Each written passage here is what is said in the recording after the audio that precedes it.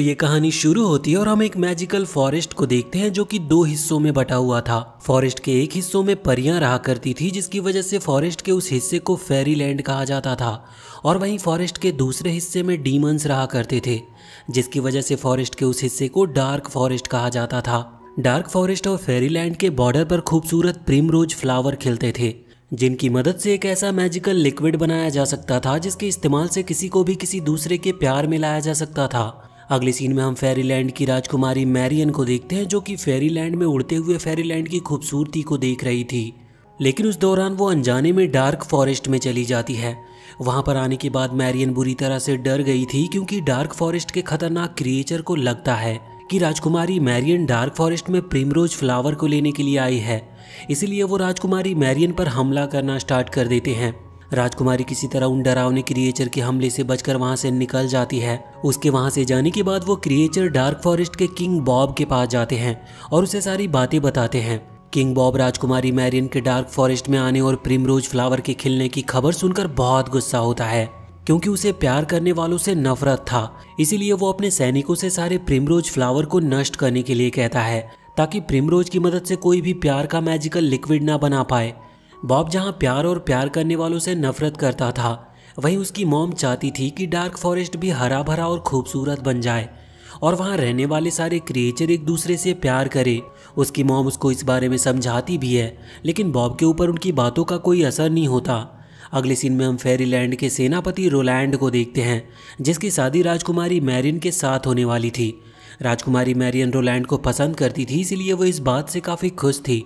और रोलैंड भी राजकुमारी मैरियन से शादी करने के लिए काफ़ी एक्साइटेड था। राजकुमारी की बहन, जिसका नाम डॉन था, वो राजकुमारी को वहाँ से चलने के लिए कहती है, क्योंकि जल्दी उसकी शादी होने वाली थी और उन्हें अभी बहुत तैयारियाँ करनी है। इसी दौरान राजकुमारी को एक प्यारा सा फ्लावर मिलता है तो वो उस फ्लावर को लेकर रोलैंड के पास उसे देने के लिए जाती है। लेकिन जब वो उसके पास जाती है तो देखती है कि रोलैंड एक दूसरे फेरी के साथ था। राजकुमारी मैरिन को अब पता चल गया था कि रोलैंड उससे प्यार नहीं करता, क्योंकि वो तो सिर्फ़ शाही ताकत हासिल करने के लिए राजकुमारी से शादी करना चाहता था। सच्चाई का पता चलने के बाद राजकुमारी बहुत दुखी होती है और वहाँ से चली जाती है। रोलैंड राजकुमारी को वहाँ से जाते हुए देख लेता है, जिससे वो समझ जाता है कि राजकुमारी को उसकी सच्चाई का पता चल गया है। रोलैंड के सच्चाई का पता चलने के बाद राजकुमारी का दिल अब पूरी तरह से टूट चुका था। इसीलिए अब वो अपनी लाइफ में कभी भी प्यार ना करने का फैसला करती है और अपनी सिस्टर डॉन को बता देती है कि वो शादी नहीं करेगी। राजकुमारी इसके बाद युद्ध कला सीखकर खुद को पहले से मज़बूत बनाने की कोशिश करती है, ताकि वो एक बेहतर योद्धा बन सके। अगले सीन में हम राजकुमारी डॉन को देखते हैं जो सनी नाम के अपने एल्फ फ्रेंड के साथ एंजॉय कर रही होती है। सनी राजकुमारी डॉन को पसंद करता था, लेकिन वो डॉन को इसके बारे में बता नहीं पाता, क्योंकि उसे पता था कि उसका और राजकुमारी डॉन का कुछ भी होने वाला नहीं। लेकिन फिर भी वो राजकुमारी डॉन को हर समय खुश रखने की कोशिश करता था। अब राजकुमारी डॉन और सनी जब साथ में होते तो उनके ऊपर एक लिजार्ड हमला कर देता है। वो दोनों अपनी जान बचाकर वहाँ से भागने लगते हैं, लेकिन तभी वहाँ पर राजकुमारी मैरियन आ जाती है, जो बड़े ही बहादुरी से उस लिजार्ड से लड़ती है और एक पेड़ की टहनी की मदद से लिजार्ड को वहाँ से दूर फेंक देती है। सनी इस दौरान लिजार्ड से बचकर भागते हुए डार्क फॉरेस्ट में चला गया था। लेकिन राजकुमारी मैरियन सनी को डार्क फॉरेस्ट से बचाकर बाहर ले आती है और उसे समझाती है कि डार्क फॉरेस्ट में जाना उसके लिए खतरनाक साबित हो सकता है।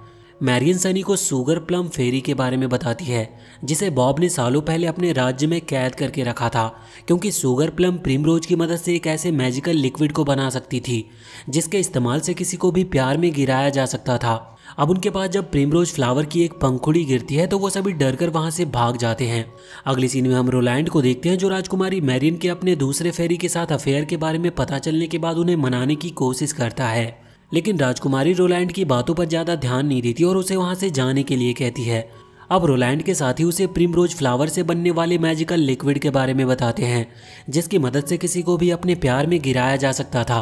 और अगर रोलैंड किसी तरह उस लिक्विड को हासिल कर लेता है तो एक बार फिर से राजकुमारी उससे प्यार करने लगेगी।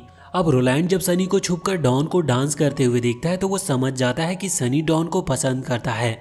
इसीलिए रोलैंड सनी को मैजिकल लिक्विड के बारे में बताता है, जिसकी मदद से सनी को उसका प्यार मिल सकता था। लेकिन इसके लिए उसे डार्क फॉरेस्ट में जाकर प्रिमरोज के साथ सुगर प्लम फेरी से मिलना होगा, क्योंकि सिर्फ़ वही मैजिकल लिक्विड बना सकती थी। सनी अपने प्यार की खातिर ऐसा करने के लिए राज़ी हो गया था, और प्रिमरोज की एक पंखुड़ी को लेकर वो डार्क फॉरेस्ट में सुगर प्लम फेरी से मिलने के लिए निकल पड़ता है। डार्क फॉरेस्ट के मशरूम राक्षसों को जब सनी के डार्क फॉरेस्ट में आने के बारे में पता चलता है तो वो ये बात अपने राजा बॉब को बता देते हैं। बॉब ये जानकर बहुत गुस्सा होता है और अपने सैनिकों को सनी को ढूँढने के लिए भेजता है। वहीं डार्क फॉरेस्ट में सनी को एक चूहा मिलता है, जो उसके पास प्रिमरोज फ्लावर को देखकर समझ जाता है कि सनी आखिर डार्क फॉरेस्ट में क्यों आया है। इसीलिए वो उसे अपने साथ सुगर प्लम फेरी के पास ले जाता है। चूहे को फॉलो करते हुए सनी जब सुगर प्लम फेरी के पास पहुँचता है तो देखता है कि बॉब ने सुगर प्लम को एक मैजिकल आर्क में बंद करके रखा था। सनी को देखकर सुगर प्लम डर जाती है क्योंकि अगर बॉब को इसके बारे में पता चला तो वो दोनों को मार देगा। सुगर प्लम फेरी इसके बाद खुद को आज़ाद कराने की शर्त पर प्रिमरोज फ्लावर की मदद से मैजिकल लिक्विड बनाना शुरू करती है। और सनी को बताती है कि मैजिकल लिक्विड जिसके ऊपर भी डाला जाएगा, वो सबसे पहले अपने सामने दिखने वाले व्यक्ति से प्यार करने लगेगा। लिक्विड के बनने के बाद वादे के मुताबिक सनी सुगर प्लम फेरी को कैद से आज़ाद कर देता है। लेकिन आज़ाद होने की खुशी में जब सुगर प्लम फेरी ज़ोर से गाना गाने लगती है तो बॉब को उसके बारे में पता चल जाता है। लेकिन बॉब के वहाँ पर आने से पहले सनी सुगर प्लम फेरी के साथ किसी तरह वहाँ से बाहर निकल जाता है। लेकिन इसका कोई भी फ़ायदा नहीं होता, क्योंकि सनी तो किसी तरह वहाँ से भागने में कामयाब रहता है। लेकिन बॉब सुगर प्लम को एक बार फिर से बंदी बना लेता है। और जब उसे सुगर प्लम के बनाए गए मैजिकल लिक्विड के बारे में पता चलता है तो वो अपनी सेना के साथ उस लिक्विड को हासिल करने के लिए फेरी किंगडम की तरफ़ निकल पड़ता है। वहीं दूसरी तरफ़ सनी किसी तरह डार्क फॉरेस्ट के हमलों से बचते हुए वापस से फेरी किंगडम में आ गया था, जहाँ पर इस समय एक फेस्टिवल मनाया जा रहा होता है। सनी के पास मैजिकल लिक्विड देखकर रोलैंड उससे डॉन के ऊपर उस मैजिकल लिक्विड का इस्तेमाल करने के लिए कहता है। लेकिन अब वहाँ पर डार्क फॉरेस्ट में सनी की मदद करने वाला वो चूहा भी आ जाता है, जिसका नाम एम था। एम ने मैजिकल लिक्विड के लिए ही सनी की मदद की थी, इसीलिए वो सनी से उस मैजिकल लिक्विड को छीनने की कोशिश करने लगता है, लेकिन इस दौरान मैजिकल लिक्विड डॉन के ऊपर गिर जाता है। और एम आखिरकार किसी तरह सनी से उस मैजिकल लिक्विड को छीन कर वहाँ से भाग गया था। बॉब के सैनिक सनी को पकड़ लेते हैं और बॉब मैरियन के पास जाकर उससे गुस्से में कहता है कि अगर उसे चाँद डूबने से पहले मैजिकल लिक्विड नहीं मिला तो वो डॉन को मार डालेगा। और फिर बॉब डॉन को बंदी बनाकर उसे अपने साथ लेकर वहाँ से निकल जाता है। मैरियन ये देखकर अकेले ही बॉब के पीछे जाकर डॉन को छुड़ाने की कोशिश करती है। इसीलिए वो अपनी बेस्ट फ्रेंड सनी से डॉन को ढूँढने के लिए कहती है और अकेले ही डार्क फॉरेस्ट के अंदर चली जाती है। हालात बिगड़ता देखकर रोलैंड सभी से कहता है कि ये सब सिर्फ़ सनी की वजह से हो रहा है और रोलैंड अकेले ही डॉन के साथ ही राजकुमारी मैरियन को डार्क फॉरेस्ट से बचाकर लाने का वादा करता है। अब सनी सारे एल्फ से अपनी गलती के लिए माफ़ी माँगता है। सनी अपने बेस्ट फ्रेंड से खुद की मदद करने के लिए कहता है। सनी का बेस्ट फ्रेंड उसकी मदद करने के लिए तैयार था, जिसके बाद वो दोनों एम को पकड़ने के लिए निकल पड़ते हैं, ताकि मैजिकल लिक्विड को वो हासिल कर सके। काफ़ी मुश्किलों का सामना करने के बाद भी वो एम को पकड़ नहीं पाते, और वो खुद के ट्रैप में फंस जाते हैं। अब देखते ही देखते वहाँ पर एक जाइंट छिपकली आ जाती है, जो सनी और उसके दोस्त को खाने ही वाली थी, कि तभी वहाँ पर एम आ जाता है, जिसने मैजिकल लिक्विड उस जाइंट छिपकली के ऊपर डाल दिया था। और क्योंकि छिपकली ने सबसे पहले सनी को देखा था, इसीलिए अब वो सनी से प्यार करने लगी थी।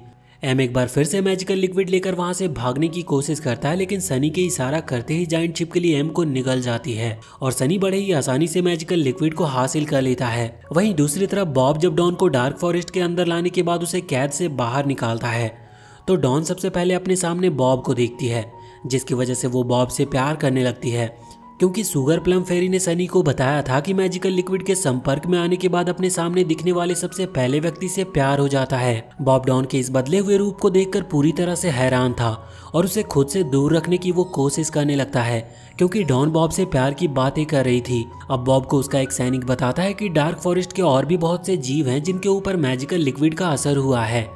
और अब वो सभी एक दूसरे से प्यार कर रहे हैं। बॉब ये सुनकर बहुत गुस्सा होता है और अपने सैनिकों से उन सभी को अपने पास लाने के लिए कहता है। अगले सीन में हम रोलैंड को देखते हैं जो मैरियन और डॉन को बचाने के लिए डार्क फॉरेस्ट के अंदर बढ़ रहा था। इस समय सनी भी वहाँ पर मौजूद था जो रोलैंड से कहता है कि मैजिकल लिक्विड हासिल करने के बाद वो डॉन और मैरियन दोनों को बचाकर ले आएगा। सनी की बात सुनकर रोलैंड बिल्कुल भी खुश नहीं था और सनी का मज़ाक बनाते हुए उससे मैजिकल लिक्विड हासिल कर लेता है। सनी रोलैंड से कहता है कि चाँद डूबने में ज़्यादा समय बाकी नहीं है, इसीलिए हमें सबसे पहले राजकुमारी मैरियन और डॉन को बचाना चाहिए। इसके बाद वो दोनों राजकुमारी मैरियन और डॉन को बचाने के लिए निकल पड़ते हैं।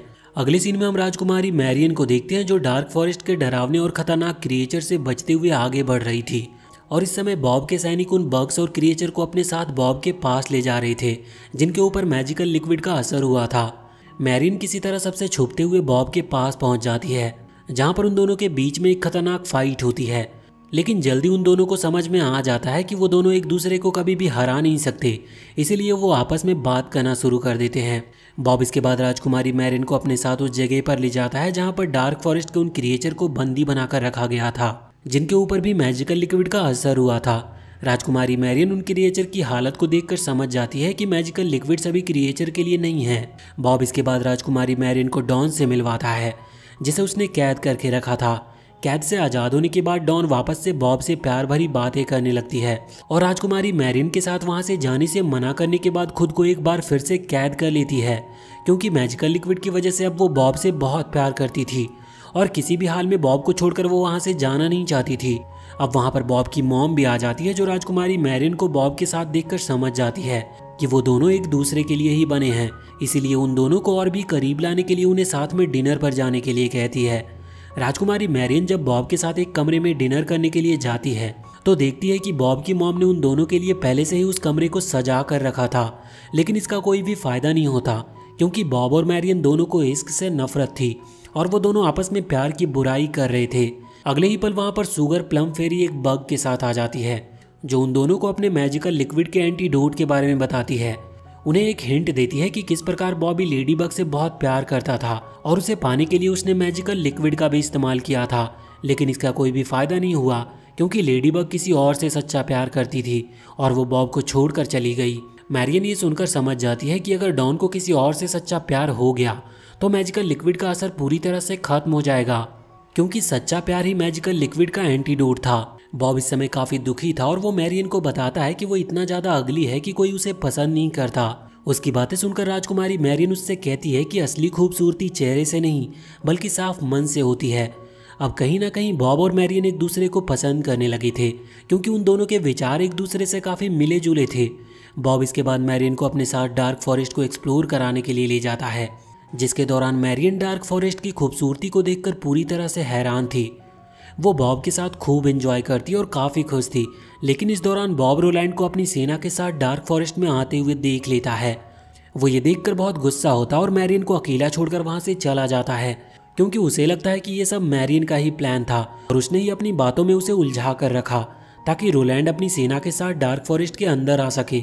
बॉब जब रोलैंड के पास जाता है तो रोलैंड उससे मैजिकल लिक्विड के बदले राजकुमारी डॉन और मैरियन को आज़ाद करने के लिए कहता है। अब वहाँ पर मैरियन भी आ जाती है जो बॉब को बताती है कि रोलैंड काफ़ी बुरा है। लेकिन बॉब गुस्से में उसकी बातों पर ज़्यादा ध्यान नहीं देता और मैजिकल लिक्विड के बदले मैरियन और डॉन को आज़ाद करने के लिए राज़ी हो जाता है। अब उस दौरान जब रोलैंड चुपके से राजकुमारी मैरियन के ऊपर मैजिकल लिक्विड डालकर उन्हें हासिल करने की कोशिश करता है तो बॉब उसे ऐसा करते हुए देख लेता और गुस्से में रोलैंड से फाइट करने लगता है। उन दोनों के बीच में एक खतरनाक फाइट होती है। अब वहाँ पर डॉन भी आ गई थी, लेकिन रोलैंड डॉन के आते ही उसे बंदी बना लेता है। और अपने सारे सैनिकों को हमला करने का आदेश देता है। रोलैंड के सारे टीम के अटैक की वजह से अब वो कैसल टूटने लगा था। वहीं दूसरी तरफ़ सनी किसी तरह बहुत मुश्किल से सुगर प्लम और बाकी फेरी के पास पहुँचा था, जहाँ पर वो बंदी बनाई गई उन सभी को आज़ाद कर देता है। अब वो पूरा कैसल गिरने लगा था, जिस मौके का फ़ायदा उठाकर रोलैंड मैरिन को अपने साथ ले जाने की कोशिश करता है, लेकिन इसका कोई भी फ़ायदा नहीं होता, क्योंकि मैरियन बॉब से अपना पीछा छुड़ाकर कैसल की तरफ़ वापस आ जाती है। अब बॉब का वो कैसल पूरी तरह से गिरने वाला था, लेकिन वो किसी तरह बहुत मुश्किल से डॉन को गिरते हुए कैसल से बाहर निकाल लाता है, और वो खुद उस कैसल के साथ मलबे के नीचे दब गया था। डॉन और मैरियन ये देखकर बहुत दुखी होती है, क्योंकि उन्हें लगता है कि बॉब मारा गया। अब वहाँ पर सनी भी आ गया था, जो डॉन को सुरक्षित देखकर बहुत खुश होता है, और उसे वो गले से लगा लेता है। सनी के सच्चे प्यार की वजह से मैजिकल लिक्विड का असर खत्म हो गया था, और अब डॉन भी सनी से प्यार करने लगी थी। मैरिन इस समय काफ़ी दुखी थी कि तभी वो आसमान में बॉब को उड़ते हुए देखती है, क्योंकि वो अभी भी ज़िंदा था और मलबे के नीचे दबने की वजह से घायल था। रोलाइन यहाँ पर चुपके से मैरिन के ऊपर मैजिकल लिक्विड डाल देता है, जिससे उसे लगता है कि अब मैरियन उससे प्यार करने लगेगी, लेकिन ऐसा कुछ भी नहीं होता। और मैरियन रोलैंड को एक जोरदार पंच मारती है, क्योंकि अब मैरियन बॉब से सच्चा प्यार करती थी। इसीलिए मैजिकल लिक्विड का उसके ऊपर कोई भी असर ही नहीं हुआ था। अब बॉब और मैरियन समझ चुके थे कि वो दोनों एक दूसरे के लिए बने हैं। और उन दोनों के मिलने के साथ ही फेरी किंगडम और डार्क फॉरेस्ट की दुश्मनी भी खत्म हो जाती है और सभी साथ में खुशी से रहने लगते हैं। और इसी के साथ ये मूवी यहीं पर खत्म होती है। तो वीडियो अगर पसंद आई हो तो चैनल को सब्सक्राइब करके बेलाइकन ज़रूर दबा लें।